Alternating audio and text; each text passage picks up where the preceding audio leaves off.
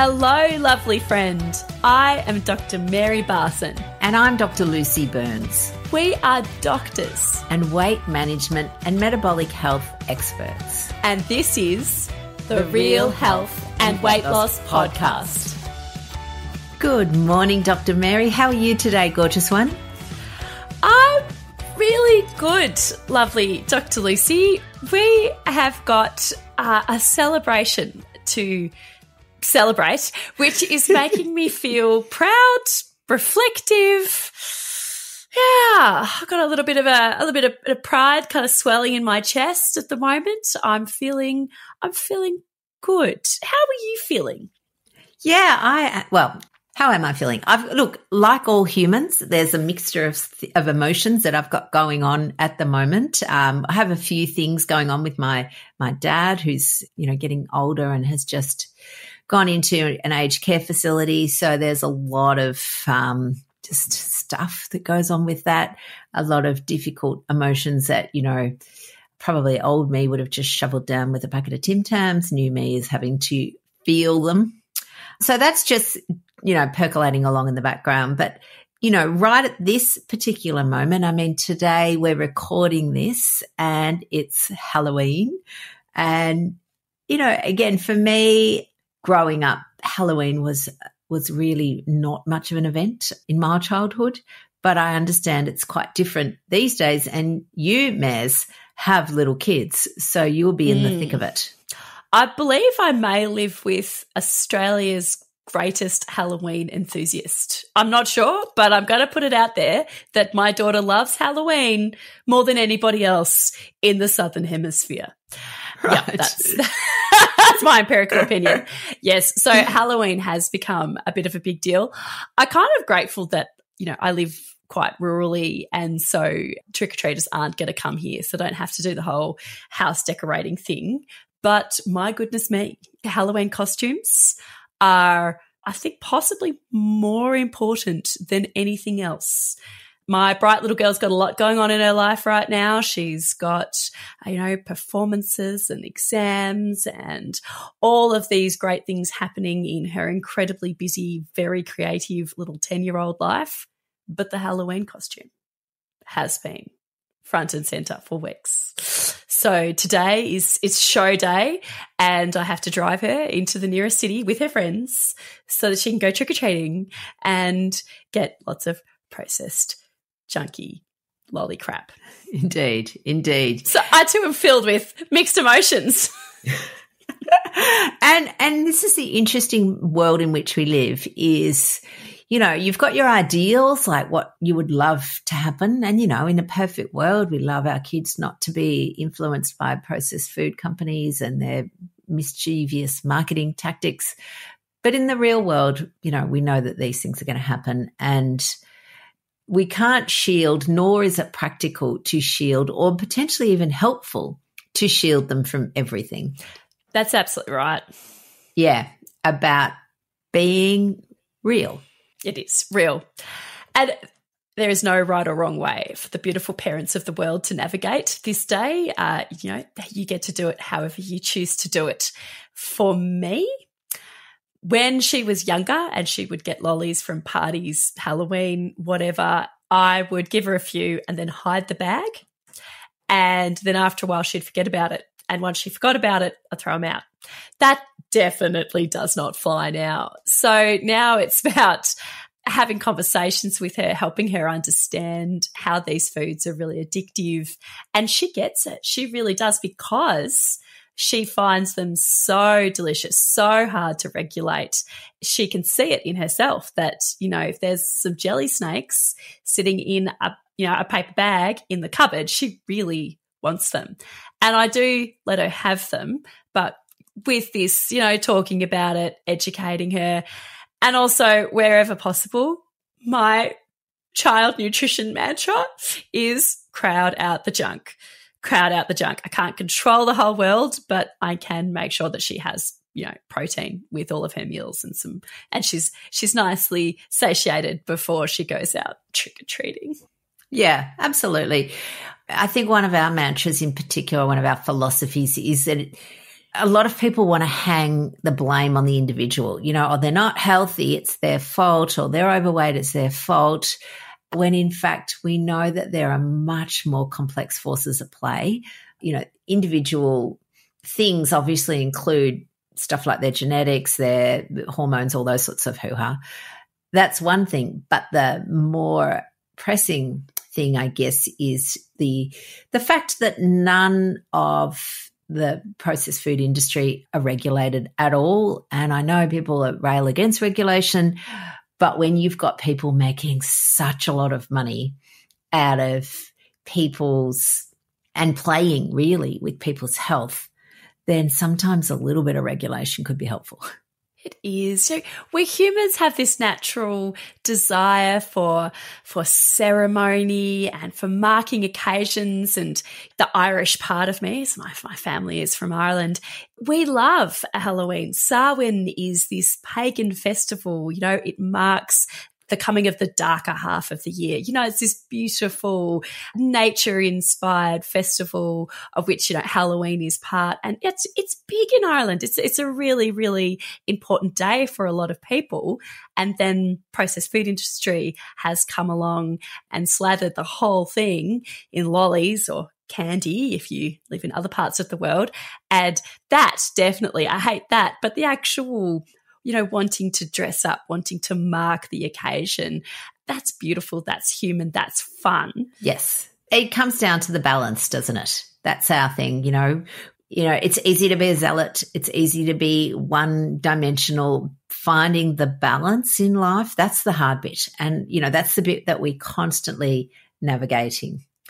But going back to your uh, message, Mares, where you talked about marking ceremony, we have an announcement with marking our own ceremony.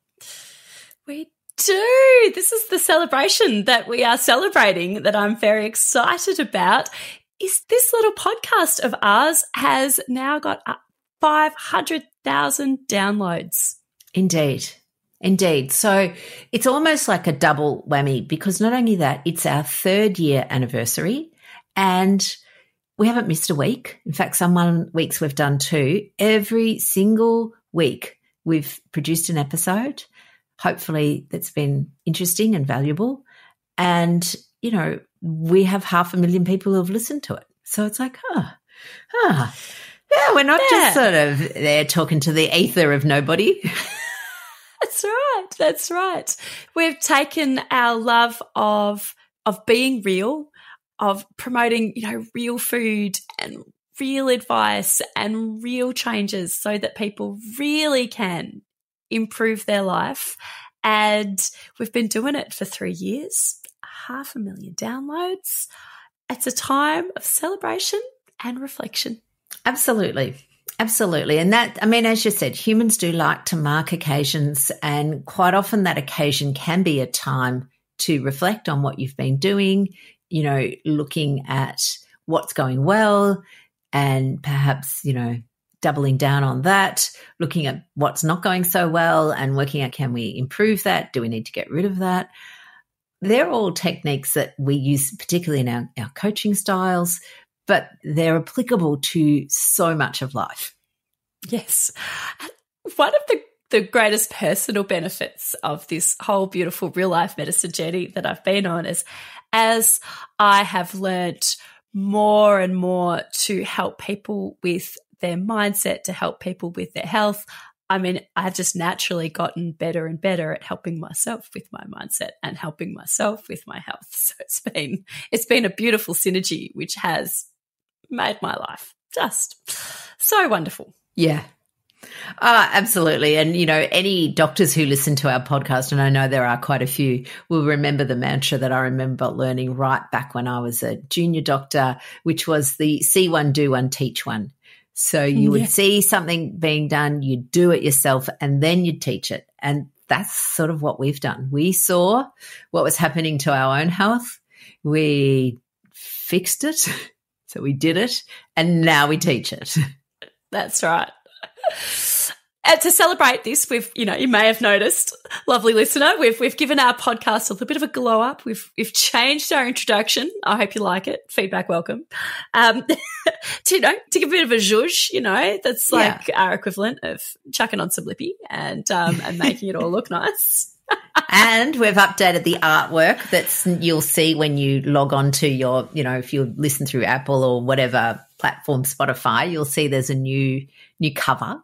You know, uh, I guess you know we look at it as a, a reset in some ways. It's certainly a reinvention, and all of that is possible with any part of your life. Like that's what I I just love that life and and I know that you really do embrace this concept, but the idea of you know the choose your own adventure, like those books that were popular when I was a kid, where there were multiple outcomes, and the outcome depended on which page you chose. Well, you get to choose your own adventure in in this great big thing called life. Yes, and you can change. You get to choose. You get to choose where you're going. If you're heading down a path with your health, with your work, with your relationships that you are not liking, you can change. And change may sound big and scary, but it doesn't need to be, particularly with your health. I feel so passionate about this that small changes actually add up to huge changes over time. And something that could seem quite impossible, like, you know, living without Coke, uh, living, I'm talking about the canned Coke, the cola, yeah. the cola, uh, actually, when you actually just start and give it a go and support yourself with the right mindset changes and the right advice, it can actually be really easy. And something like that is a real world example of how you can completely change the trajectory of your health, your weight, and your whole life. It really doesn't have to be that hard. It really is doable. And all of us are able to make the healthy little changes that we want and need to live the future life that we want, to be the future selves that we want. Absolutely. Absolutely. And again, if I bring it back to our podcast, we're up to nearly whatever it is, 180 episodes. If somebody had said to me, listen, you need to go and do 180 episodes, like, and, and you've got to record them and you've got to then write all the notes and you've got to, you know, publish it on a website and you have to do it 180 times. I would have been thinking, oh, holy hell, that sounds hard and big and undoable. So, yeah, no thanks. But instead, we just focused on one episode at a time. Sometimes we record a couple in a row. It's not perfect by any stretch. You know, we know that. That's okay. Yeah. Happy for people to tell us. we know. But but it is absolutely consistent. Absolutely consistent. It's imperfectly consistent. And that's that is just the key, isn't it, Mez? It is. It is. It's what you do most of the time that matters. And you don't need to be perfect. You can stumble over your words. You can have podcasts where you're less than completely articulate and start it by saying, I want to celebrate a celebration, for example, which is how I started this podcast episode, beautiful people. I know. Perfect. Absolutely perfect. yes. Yep. One of the things that we that we talked about was this idea of, of reflection and, you know, a glow up of the podcast, for example. And, you know, you can do that with your health. You can have a glow up of your health. You can have a reset. You can pivot at any time. You can make changes that are helpful. And I know you said it earlier in the podcast, Mez, but the the sum of those changes is it's like compound interest. We always have a little joke in our house about compound interest because once upon a time, my mother in law told the, a story to my kids about compound interest, and they sort of it was way above their heads. So whenever we, whenever I hear the phrase compound interest, we always there's always this sort of knowing wink and a nod in my place, which is just a little side note. Families often have that, don't they? They have little phrases or little things that are just pertinent to that particular family. No one else knows what you're talking about, but you you can have the effects of compound interest on your health.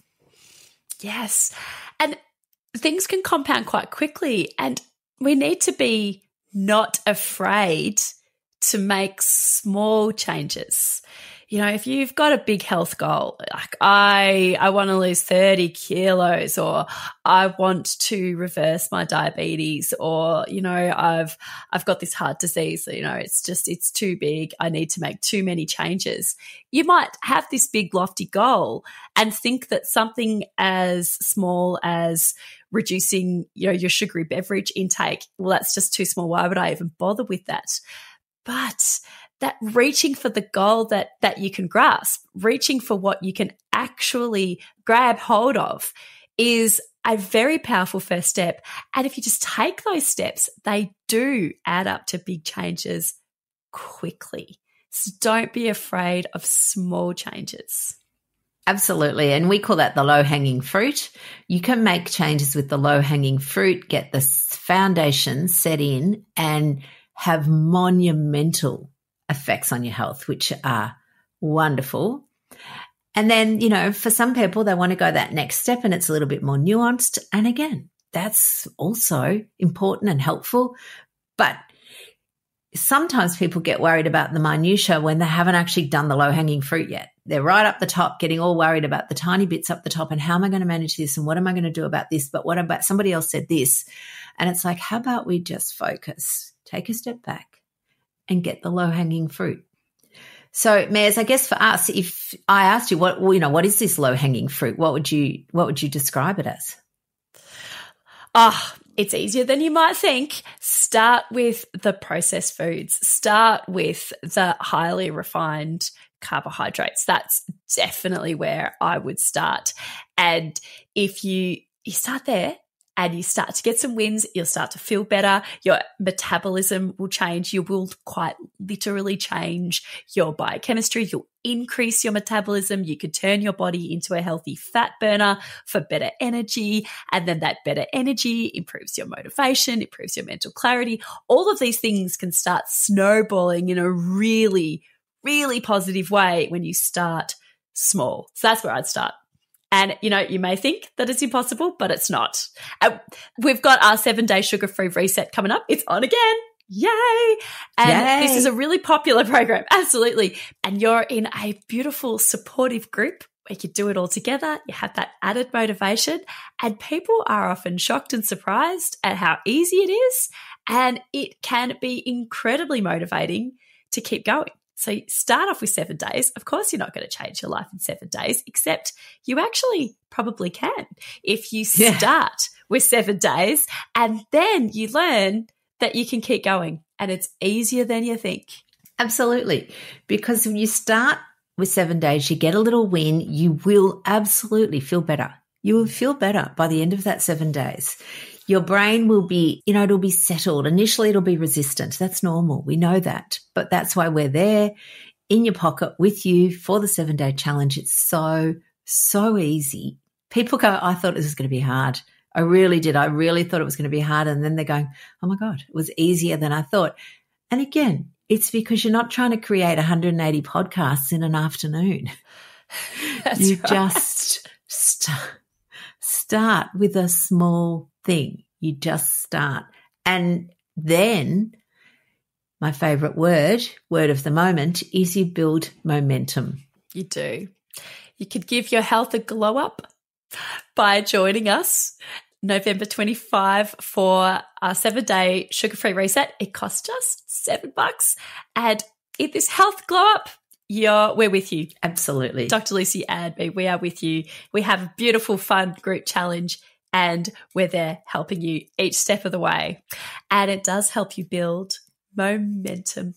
Ah, oh, I know. Which just reminds me, actually, that's just side note, because you know I love to pop in with a side note. My other little bit of news, which I forgot about, is that I'm heading off to our momentum retreat in two days. By the time this podcast airs, we will have had it.